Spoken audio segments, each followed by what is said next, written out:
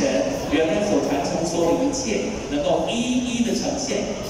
花莲就是全台湾所有原住民非常重要的代表，更是重要的桥头。接下来，我们要欣赏他们所带来从记录到找路、引路，以及到上路，要沿着火光娓娓找出原先对于祖灵这部分的敬畏跟敬爱。我们就从看古认古开始，邀请来自丽美文化艺术团所带来的